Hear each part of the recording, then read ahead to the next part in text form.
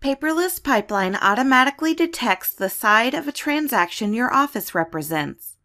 You can filter transactions by side and auto assign checklist templates based on the side. Here's how it works the system determines a transaction's side based on the agents associated with it. If a transaction has listing agents from your company, its side is deemed to be listing. If it has selling agents, the side is buying. If it has both types of agents, the side is listing and buying. In the transaction list, the sides are shown as a single letter next to the transaction name. L equals listing side, B equals buying side, and L plus B equals both sides. Hover over the letter to see the expanded name of the side. You can filter by side using the Filter tab on the Transactions page. To access the Filter tab, click Transactions from the top navigation bar.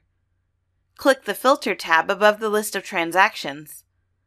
Select your side by clicking the Side drop-down list and selecting the desired option. Click Filter Results.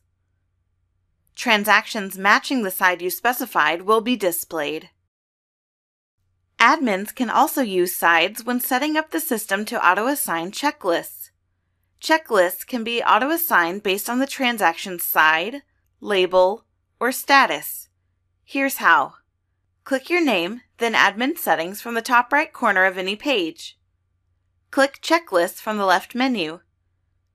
Click Add a Checklist template to add a new template, or click the name of an existing checklist template to edit it. Click Automatically assign this checklist to transactions to enable the auto assignment section.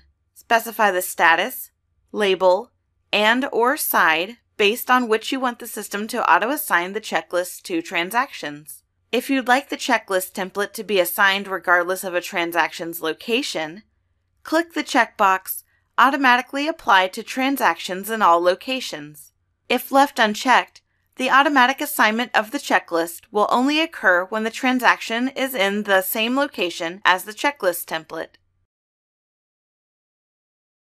Note that automatic detection of sides means you don't have to use transaction labels to store the side of the transaction. This frees up the label field to hold the property type of a transaction, such as rental, commercial, residential, or any other classification you'd like to track. If you previously used transaction labels to track which side of the sale a transaction represents, we can help you remove those labels from transactions and reset any affected auto-assigned checklists to be based on the new sides field.